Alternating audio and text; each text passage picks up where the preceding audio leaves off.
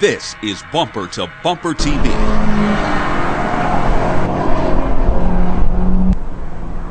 This is a Scion, the sub brand from Toyota that encourages individuality and mad customizing?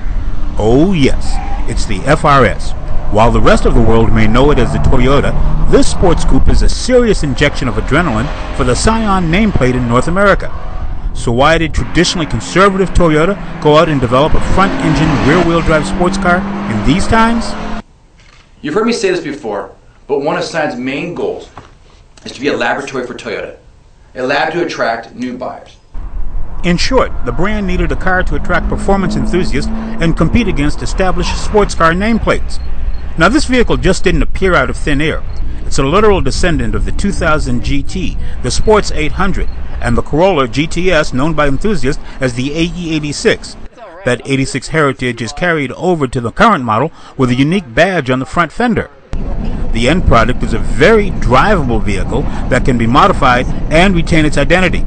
On the open road, we found it is tight at highway speed. But what makes it go? Wow. Dude, it has a Subaru Boxer engine in it. That's almost the same as a Porsche. To be exact, it's a 2-liter Boxer engine developed jointly by Toyota and Subaru with a D4S injection system. It delivers 200 horsepower and 151 foot-pounds of torque with a 12.5 to 1 compression ratio. The platform delivers performance across the entire torque band. The drivetrain is a six-speed gearbox with a Torsen differential to keep the 17-inch wheels planted firmly on the pavement. The automatic version can be set to a sport mode to make it competitive.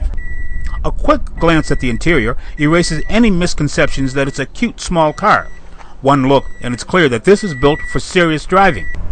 And in a day of thrashing these around a track in Nevada, it confirmed that improved a well-balanced sports car can deliver without relying solely on an overpowering engine. As the fifth offering in the Scion lineup, the FRS has the potential to raise the brand's profile among drivers who want a thrill while behind the wheel. This is Greg Morrison. We want to know what you think, so email us. The address is bumper to bumper TV at cs.com.